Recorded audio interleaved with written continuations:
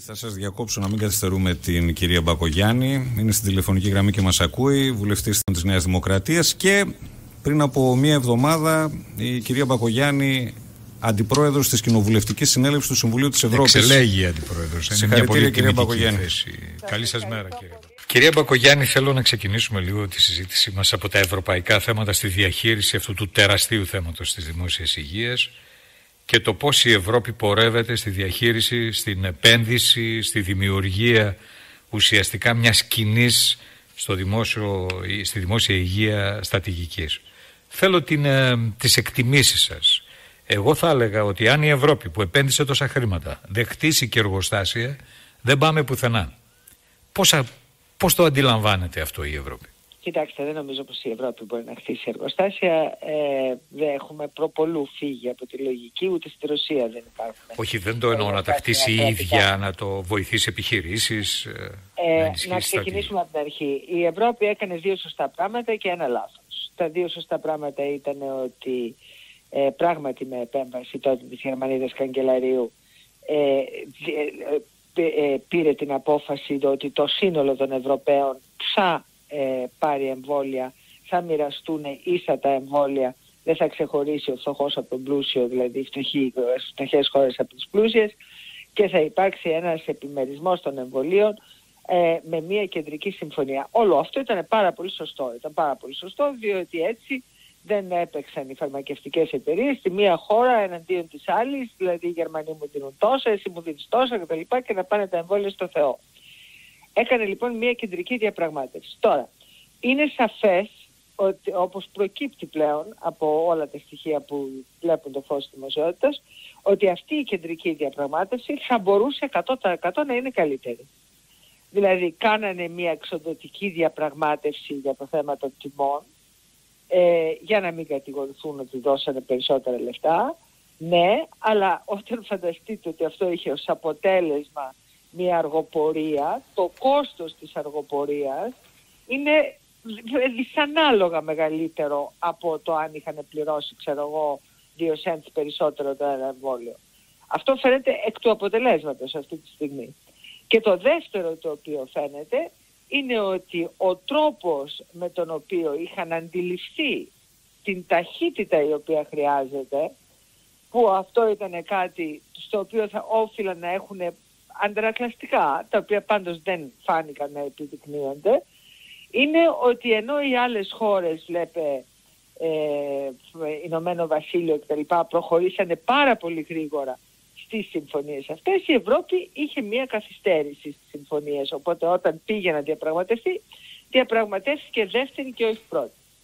Αυτό είναι, αυτή είναι η εικόνα σήμερα. Τώρα αυτό φαίνεται ότι αρχίζει και διορθώνεται, διότι ξεσηκώθηκε ένα κύμα ε, όταν λέμε κύμα τσουνάμι αντιδράσεων ε, πανευρωπαϊκό, δηλαδή αυτά που γράφονται σήμερα στο γερμανικό τύπο για την κυρία Φόντερ Λάιν, ε, δεν γράφονται στον ελληνικό τύπο για να καταλάβετε.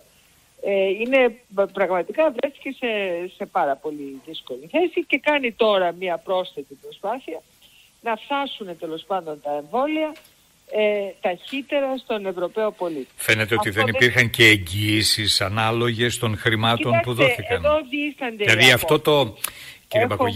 θέλω την, ε, τη σκέψη σας. Είστε πολύπυροι, πολλά χρόνια στην πολιτική, ξέρετε τα ευρωπαϊκά πολύ καλά. Ε, εγώ σαν Ευρωπαίος πολίτης λέω ότι θέλω διαφάνεια στην Ευρώπη.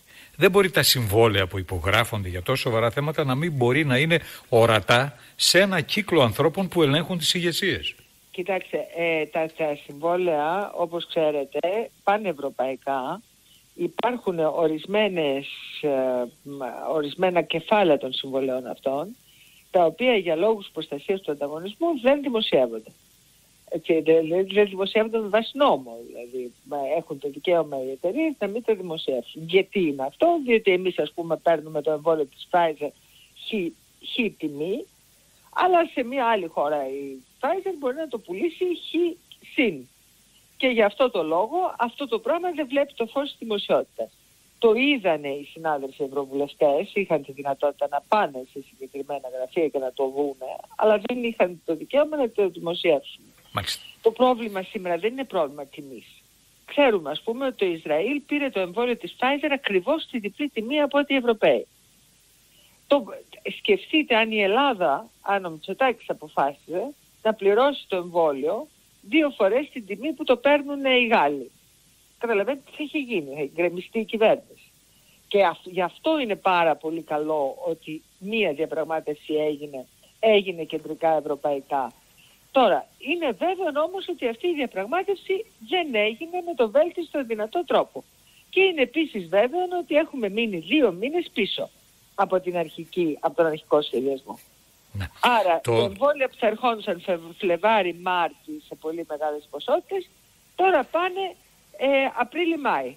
Αυτό βλέπω εγώ. Πιστεύετε ότι θα αναγκαστεί η Ευρωπαϊκή Ένωση να κοιτάξει ανατολικά, δηλαδή στο Σπούτνικ και εγώ στο... Εγώ δεν καταλαβαίνω. Αυτή τη λογική δεν την κατάλαβα ποτέ και την είπα και προχθές στο Συμβούλιο της Ευρώπης. Εδώ πέρα θα έπρεπε ο Ευρωπαϊκός ε, Οργανισμός ε, Φαρμάκων να πάρει κάτω τα εμβόλια όλα, να τα βάλει κάτω και να πει έλα εδώ κύριε Σπούτνικ τάδε, σε εξετάζω ως εμβόλιο. Έλα εδώ κύριε Κινέζικο εμβόλιο, σε εξετάζω ως εμβόλιο και να βγάλει ένα συμπέρασμα και να πει καθαρά στον κόσμο, ακούστε και το Sputnik, έχει 90% ξέρω εγώ κάλυψη, 70, 60, ό,τι έχει. Το κινέζικο έχει αυτό. Και να μπορούμε πραγματικά... Είναι πολιτικά τα κριτήρια, λέτε, περισσότερο από ό,τι πρέπει; Κατά τη γνώμη μου, ναι. Δηλαδή ήταν, είναι και γεωστρατηγική. Δηλαδή από εκεί που ήταν, ήταν ε, επιστημονικά ε, τώρα έχει αρχίσει να μπαίνει και μια λογική πολιτική, την οποία όμως μην νομίζετε δεν θα τη δεχθούμε. Δηλαδή εμείς οι Ευρωπαίοι δεν τη δεχθούμε. Και βλέπετε ότι οι χώρες δεν είναι διατεθειμένες να παίξουν. Άρα η πίεση θα Μα εννοείται ότι ο ρόλος της Ευρώπης είναι να γεφυρώσει διαφορές, δείχνοντας έναν... Δεν είναι θέμα ναι. να γεφυρώσω διαφορές, είναι θέμα αν έχω ε, την, τα επιστημονικά κριτήρια, διότι τώρα τι συμβαίνει. Οι Ρώσοι δεν έχουν τη δυνατότητα να προμηθεύσουν σε αυτά τα νούμερα. Και το ίδιο πρόβλημα παραγωγής που έχουν και οι Δυτικοί, έχουν και οι Ρώσοι, το ίδιο πρόβλημα παραγωγής έχουν και οι Κινέζοι. Γίνεται μια πολιτική, στέλνω ας πούμε 500.000 εμβόλια, αλλά 500.000 εμβόλια δεν είναι τίποτα. Όπως στη Σερβία ας πούμε, έτσι εννοείται. Ναι, είναι 250.000 άνθρωποι. Δηλαδή όταν το δεις το πράγμα, αλλά επικοινωνιακά κάνω τη δουλειά μου, έχω κάνει ας πούμε ε, μια πολιτική ε, παρέμβαση. Ναι. Εμένα δεν με ενδιαφέρουν οι πολιτικές παρεμβάσεις στη φάση αυτή. Με ενδιαφέρει η ουσία. Και η ουσία είναι ότι χρειαζόμαστε εμβόλια. Και, όταν μας πει Ευρω... το Ευρωπαϊκός Οργανισμός ε, ότι το εμβόλιο είναι καλό, να το πάρουμε όσο πιο γρήγορα μπορούμε για τους πολίτες. Τώρα οι σκέψεις και οι προτάσεις για κοινωνικοποίηση του εμβολίου που επιμένει ο κύριος Τσίπρας αυτό Πώς την, ε, πώς την ακούτε; Ο κύριος Τσίπρας έκανε δύο διαφορετικές, ε, δύο διαφορετικές δηλώσεις και μάλιστα βλέπω ότι έχει κάνει και ένα απίστευτο σοου για το Συμβούλιο της Ευρώπης. Και επειδή εγώ είμαι επικεφαλής, επιτρέψτε μου λίγο να βάλω τα πράγματα στη θέση τους. Όλοι υποστηρίξαμε ότι το εμβόλιο δεν μπορεί να είναι προϊόν, ε, δεν μπορεί να είναι αντικείμενο κερδοσκοπίας. Και όλοι υποστηρίξαμε ότι το εμβόλιο πρέπει να είναι δημόσιο αγαθό και όλοι υποστηρίξαμε ότι πρέπει να μπορέσουμε και για τους ανθρώπους του τρίτου κόσμου να παράξουμε εμβόλια.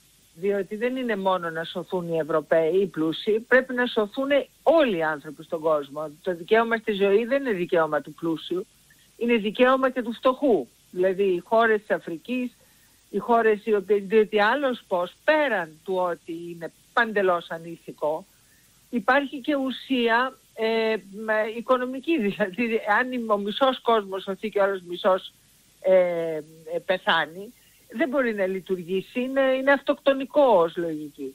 Λοιπόν, αυτό το πράγμα, ε, αυτό έθεσε το Συμβούλιο της Ευρώπης με όλους τους τόνους. Εκεί υπήρξε μια τροπολογία της αριστεράς, κανένας δεν αναφέρθηκε στον κύριο Τσίπρα. Ε, μια τροπολογία η οποία κατατέθηκε από την αριστερά, η οποία μιλούσε να πάρει τα πνευματικά δικαιώματα η Ευρώπη. Τα πνευματικά δικαιώματα όμως, όποιος έχει ψηφίσει νόμο περί πνευματικών δικαιωμάτων όπως εγώ, δεν ξέρουμε πάρα πολύ καλά ότι δεν μπορεί να γίνει ποτέ. Είναι μια, ένα ευχολόγιο γενικό, διότι ποιος θα δώσει και πώς θα πάρει τα πνευματικά δικαιώματα, θα τα πληρώσει σε ένα αστρονομικό ποσό το πνευματικό δικαίωμα, θα το πάρει και θα το κάνει μετά τι; Όταν σήμερα μία γαλλική εταιρεία κατάφερε μόνο να βρεθεί η οποία θα παράξει το εμβόλιο της Pfizer μετά από έξι μήνες. Δηλαδή ήταν μία τροπολογία που είναι παντελώς στο κενό. Αυτό έγινε. Υπερψηφίστηκε λοιπόν το αίτημα να μπορέσουν να πάνε τα εμβόλια παντού. Σας το κάνω τώρα, έτσι, το, σας λέω το διατάφτα. Και υπήρξε αυτή η τροπολογία. Η δε πρόταση για την οποία πανηγυρίζει ο ΣΥΡΙΖΑ ότι απερίστη λέει η πρόταση του Κυριάκου Μητσοτάκη δεν υπήρχε. Δεν τέθη στο τραπέζι. Δεν, δεν την κουβεντιάστηκε ποτέ για τον απλούστατο λόγο ότι στην πρώτη φάση δεν είναι τι θα κάνουν οι εμβολιασμένοι, αλλά είναι πώς θα εμβολιαστούν οι άνθρωποι. Άρα αυτό ήταν το αντικείμενο της συζήτησης. Ναι. Ε, άρα επί της ουσίας, ε, όποια εταιρεία σήμερα πανευρωπαϊκά έχει τη δυνατότητα να παράξει το εμβόλιο, σας διαβεβαιώ ότι την ψάχνουν σαν, ε, τι να σας πω, ε, σαν τι. Ψάχνουν να βρουν ποιος μπορεί, ποιες, ποιες βιομηχανίες δηλαδή, μπορούν να παράξουν το εμβόλιο το οποίο υπάρχει. Και σας λέω, βρήκαν ένα εργοστάσιο της Νοβάρτης στη Γαλλία, το οποίο μπορεί να το κάνει. Ναι. Ε, και έτσι θα παράξουν αυτοί μετά από έξι μήνες. Αλλά αυτή είναι η πραγματικότητα. Δηλαδή μην κάνουμε πολιτικό ένα θέμα το οποίο είναι ε, πανανθρώπινο και όπου οι στόχοι μας είναι όλοι κοινοί. Δεν, αν μπορούσε μια χώρα να πει ότι κρατικοποιώ βρε παιδί μου το σύνολο της βιομηχανίας μου διότι θα παράξω αύριο το εμβόλιο να το κουβεντιάσουμε. Αλλά δεν υπάρχει τέτοιο πράγμα. Δεν ναι. γίνεται. Ναι. Κυρία Παγκογιάννη, αυτή η δίμηνη καθυστέρηση που είπατε προηγουμένως σε ευρωπαϊκό επίπεδο, πανευρωπαϊκό επίπεδο, θα ρίξει πίσω κατά αναλογία και τον προγραμματισμό στην Ελλάδα; Δηλαδή είμαστε, θα είμαστε δύο μήνες πίσω και εδώ; Κοιτάξτε, δεν θα είμαστε δύο μήνες πίσω εδώ, διότι έτσι όπως έχουν μοιραστεί τα εμβόλια στην Ελλάδα, νομίζω ότι μιλάμε χοντρικά ενδεχομένως για δύο εβδομάδες. Διότι έχουμε έναν επιμερισμό εμβολίων. Και αυτό πάλι, το λέω με προσοχή, διότι χρειάζεται πλέον τα υπόλοιπα εμβόλια που περιμένουμε, χρειάζονται ακόμα να πάρουν την έγκριση του ευρωπαϊκού ε, μηχανισμού. δηλαδή, ακόμα σήμερα τρία εμβόλια έχουμε και κάναμε όλο τον καυγά με την Άστρα Ζένεκα σε μια εποχή που η Άστρα Ζένεκα δεν είχε πάρει ακόμα άδεια. Ναι. Να πάμε κύριε Μπακογιάννη στα ελληνοτουρκικά λίγο γιατί είμαστε σε μια πολύ κρίσιμη περίοδο και να θέλω να ακούσω τις σκέψεις Αν ο διάλογος αυτός, διάλογος, αν οι διερευνητικές αυτές έχουν βάση, αν μπορούμε να πάμε να προχωρήσει η υπόθεση ή είναι μια στροφή της τουρκικής επιθετικής διπλωματίας και θα επανέλθουμε στο ίδιο σημείο τι πρέπει να κάνει η χώρα, πώς ακούσατε τον κύριο Σαμαρά, ο οποίος ήταν πολύ σκληρός στο άρθρο του πριν από λίγες μέρες. Έχουν ουσία αυτές οι δεδομένων των θέσεων των Τούρκων που είναι τόσο... Ε, έχουν ανοίξει την ατζέντα προς κάθε κατεύθυνση. Ο Κωνσταντίνος Καραμαλής έλεγε, το έχω πει πολλές φορές, θα το ξαναπώ και στη δική σας εκπομπή, ότι στις σχέσεις με τους γείτονες υπάρχουν τρεις δυνατότητες. Η μία είναι ο διάλογος, η δεύτερη είναι η διαιτησία και η τρίτη είναι ο πόλεμος. Στη φάση αυτή λοιπόν η Ελλάδα, όπως και κάθε σοβαρή χώρα, κάνει την προσπάθεια του διαλόγου, διάλογος βλέπετε διαρρευνητικές επαφές, δηλαδή άτυπο διάλογο, έχει τυπικό, όχι διαπραγμάτευση δηλαδή, αλλά άτυπο διάλογο, με στόχο τη διαιτησία, δηλαδή τη Χάγη, πράγμα το οποίο ήταν παγίως η πολιτική όλων των ελληνικών κυβερνήσεων. Αυτός ήταν ο στόχος, από τη, της μεταπολίτευσης τουλάχιστον που ξέρω εγώ, δηλαδή από τον Καραμαλή μέχρι σήμερα, το οποίο υπηρετήσαν όλες οι κυβερνήσεις, όλες οι κυβερνήσεις είχαν στόχο διερευνητικές χάγη και η κυβέρνηση του κ. Σαμαρά, συμπεριλαμβανομένης της κυβέρνησης του κ. Σαμαρά, και από εκεί και πέρα ε, Προετοιμαζόμενοι όμως, διότι καλό είναι να, πώς το λένε, καλές είναι σχέσεις, ε, αλλά καλό είναι να έχεις την κάτω, ε, έχουμε προετοιμαζόμενοι για το ενδεχόμενο, το, το τρίτο δηλαδή του πολέμου, έχοντας, θωρακίζοντας καθημερινά περισσότερο την αμυντική, ε, την αμυντική θωράκιση της χώρας όπως βλέπετε με εξοπλισμούς, με ραφάλ κτλ. κτλ. Αυτή είναι η πραγματικότητα σήμερα. Τώρα, κρατάς μεγάλο ή μικρό καλάσι, εγώ προσωπικά μικρό καλάσι κρατάω. Διότι δεν ξέρω καθόλου και θέλω να δω πολλά δείγματα γραφής ακόμα από την τουρκική ηγεσία για το πώς πραγματικά εννοεί. Ε, Βλέποντας, παρατηρώντας τον επεκτατισμό της τουρκικής στρατηγικής ε, πόσο μπορεί κανείς να ελπίζει, πόσο μπορεί κανείς να ελπίζει ότι μπορεί οι δύο λαοί να βρουν μια λύση, διότι έτσι πως έχει ανοίξει το θέμα σε τέτοιο βαθμό. Οι Τούρκοι τα βάζουν όλα και με νοτιοανατολική Λεκάνη και Μεσόγειο ε, και Αιγαίο και ένα αέριο χώρο. Είναι σαν να είναι όλα μαζί από μόνα τους. Μα δεν τα βάζουν για πρώτη φορά. Το ξέρω ότι δεν τα βάζουν. Φυσικά δεν τα βάζουν. Με τέτοιο τρόπο τα έχουν ξαναβάλει ποτέ έτσι. Τα, έχουν βάλει τα τελευταία 25 χρόνια. Είχαμε την τραγική επέτειο των ημείων. Μην συζητάτε. Δηλαδή για ανθρώπους οι οποίοι ασχολούνται με το θέμα αυτό. Τους ξέρουν τους Τούρκους εδώ και 25 χρόνια τις πάγιες θέσεις τους. Πότε ανεβαίνει η ρητορική και πότε είναι πιο χαμηλή η ρητορική. Αλλά η ρητορική, όχι οι στόχοι. Άρα, εν πάση περιπτώσει, αυτό το οποίο λέω εγώ είναι ότι σήμερα προχωράμε, υποχρεώθηκαν οι Τούρκοι να, να, να έρθουν στις διερευνητικές, δεν το επιθυμούσαν καθόλου, γι' αυτό δύο φορές το τελευταίο τρίμηνο ε, τις αποφύγανε, ενώ είχαν δεσμευτεί, ε, τις αποφύγανε και στρίψανε για το Αραβόνος. Η τρίτη φορά υποχρεώθηκαν, γιατί υποχρεώθηκαν οι Τούρκοι να αλλάξουν πολιτική, ε, υποχρεώθηκαν πρώτον διότι εξελέγει ο Biden στην Αμερική και κατάλαβαν ότι είναι δύσκολα τα πράγματα όταν ήδη επί Πομπέο τους είχαν έρθει αυτές οι, α, οι κυρώσεις τις οποίες πήρε η, η, Αμερική εναντίον τους, πράγμα το οποίο τους κοστίζει τρομακτικά στην αμυντική τους βιομηχανία. Δεύτερον, διότι βλέπαν την Ευρώπη αργά αλλά σταθερά να πηγαίνει και εκείνη προς κυρώσεις. Και τρίτον, διότι η εσωτερική πολιτική κατάσταση στην Τουρκία είναι τέτοια που όλη αυτή η εθνικιστική, επεκτατική, ρεφορμιστική πολιτική του Ερντογάν στο εσωτερικό της χώρας δεν απέδωσε καθόλου. Αντίθετα, οι δημοσκοπήσεις του είναι χειρότερες από ποτέ. Με μια οικονομία η οποία επιβαρύνεται συνεχώς. Αυτοί λοιπόν, οι, αυτές, αυτοί οι τρεις παράγοντες φέρανε τους Τούρκους στο τραπέζι των διερευνητικών και τους υποχρεώσανε να κάνουν μια επίθεση έτσι, φιλίας προς την Ευρώπη και προς τη Δύση κτλ. Τώρα, πόσο αυτό θα διαρκέσει θα το δούμε. Διότι δεν μπορείς εύκολα να πας από την ένταση του καλοκαιριού σε μια ιδανική ατμόσφαιρα ούτε κατά διάνοια. Θα το δούμε λοιπόν. Έχουμε, ε, κρατάμε όλες τις επιφυλάξεις μας αλλά από εκεί και πέρα δίνουμε σε αυτό το διάλογο και σε αυτή την δυστυχία μια ευκαιρία. Όπως έχουμε και υποχρέωση απέναντι στον ελληνικό λαό. Υπάρχει μια πλευρά της ελληνικής διπλωματίας η οποία λέει ότι ο χρόνος που περνά πολλές φορές είναι σε βάρος μας διότι ε, ανοίγουν περισσότερα θέματα και βρισκόμαστε σε δυσκολότερη θέση καθώς και το μέγεθος της Τουρκίας δημιουργεί δεδομένα και καταστάσεις. Σε αυτό τι έχετε να πείτε, πώς το, πώς το βλέπετε; Συμφωνώ ότι εγώ είμαι πάντοτε υπέρ της άποψης ότι όταν μπορείς να λύσεις ένα θέμα λύστο διότι μετά θα σου έρθει πολύ μεγαλύτερο.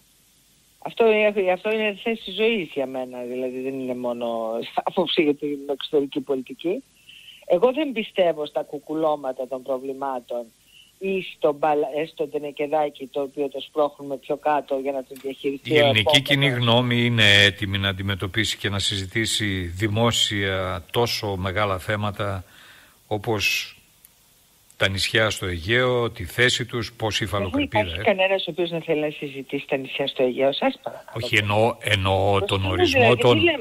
Ε, κύριε Μπακογιάννη, συγγνώμη, ας το πω λίγο. Ε, ας μην το απλοποιήσω τόσο πολύ, αλλά τον καθορισμό των ζωνών, των ζωνών στο Αιγαίο, για παράδειγμα, που είναι δύσκολο. Πολύ. Τι, Έχει... τι να συζητήσουμε, ένα λεπτό. Υπάρχει καμία ελληνική κυβέρνηση που θα συζητήσει θέματα κυριαρχίας; Όταν η άλλη πλευρά σου λέει ότι έχω και εγώ δικαιώματα, τι θα πεις; Θα πεις ότι μονομερή, μονομερή άποψη δεν αποτελεί θέμα, ε, μονομερής διεκδίκηση, δεν αποτελεί θέμα συζήτησης με βάση το διεθνές δίκαιο.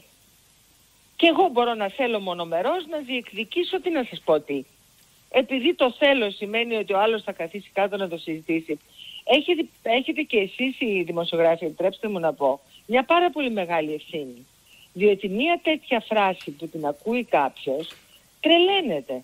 Σου λέει, μα τι συζητάνε, συζητάνε ας πούμε το Καστελόριζο, για να το πω σαν παράδειγμα. Κύριε Μπακογιάννη, εμείς οι δημοσιογράφοι μπορούμε να ρωτάμε και με περισσότερη άνεση ορισμένα πράγματα από ότι εσείς οι πολιτικοί μπορείτε να τα συζητάτε. Γιατί όταν η απέναντι πλευρά έχει στήσει ένα μηχανισμό και σου λέει ότι και εγώ θέλω να περνάω στο Αιγαίο, να βγαίνω ανάμεσα στη Χίου και την Δεν μπορείς να με μπλοκάρεις, δεν μπορείς να. Μα ένα λεπτό. Ένα λεπτό, ένα λεπτό. Καταλαβαίνετε δηλαδή που.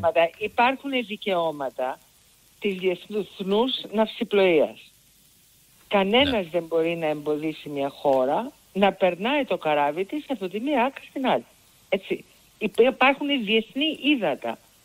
Αυτά δεν αποφασίζει, ούτε σκέφτηκε ποτέ καμία χώρα να κλείσει τα διεθνή ύδατα. Αυτό σημαίνει ότι είμαστε έτοιμοι στην Κρήτη για 12 μίλια. Και στα κύθυρα και στα αντικύθυρα. Όποτε, όποτε θέλουμε και όποτε κρίνουμε σωστό Πρέπει να, το κάνουμε σε αυτή την περίοδο που ξεκινούν οι διερευνητικές, διότι κάποια στιγμή, έτσι άκουσα και τον Πρωθυπουργό να αναφέρεται σε αυτό, όποτε. Τι λέτε εσείς, θα είναι μια στρατηγική κίνηση; Εγώ λέω ότι όταν έχει κανένας όλα τα δεδομένα στο τραπέζι και τα δεδομένα στο τραπέζι τα έχει πάντοτε η εκάστοτε ελληνική κυβέρνηση, θα πάρει την απόφαση. Η πραγματικότητα είναι ότι πρώτη φορά επί κυβερνήσεως Κυριάκο Μητσοτάκη επεκτάθηκε η κυριαρχία της Ελλάδος. Μεγάλωσε δηλαδή η Ελλάδα. Πρώτη φορά στην ιστορία της μετά, ναι. το, το, μετά τον ελευθερία. Θα ήταν μια στρατηγική κίνηση στα ανατολικά της Κρήτης, δηλαδή να φτάσει η επέκταση των 10 μιλίων στα ανατολικά της Κρήτης. και είναι άλλη μια στρατηγική κίνηση. Ξέρετε κύριε Μπακογιάννη, εγώ περίμενα ισχυρότερη... Περί, περίμενα ισχυρότερη αντίδραση από τους Τούρκους όταν η κυβέρνηση ε, έθεσε με τον τρόπο πλαγίως εμέσως το, τη δυνατότητα, την προετοιμασία για τα 12 ναυτικά μίλια στην Κρήτη. Περίμενα ισχυρότερη αντίδραση. Ε, όλοι στη φάση αυτή δίνουν, κάνουν μια προσπάθεια ε, να χαμηλώσουν, ιδιαίτερα οι Τούρκοι κάνουν μια προσπάθεια να χαμηλώσουν οι τόνοι διότι αντιλήφθησαν ότι αυτή η ιστορία, η αυτή τους η πολιτική του καλοκαιριού γύρισε μπούμερα. Κατόπιν τούτου κάνουν μια προσπάθεια, τους ξεφεύγουν ακόμα βεβαίως, διότι ε, δεν μπορούν να αλλάξουν και τελείως διάφορες ε, έτσι, θέσεις οι οποίες είναι εκτός του χρόνου.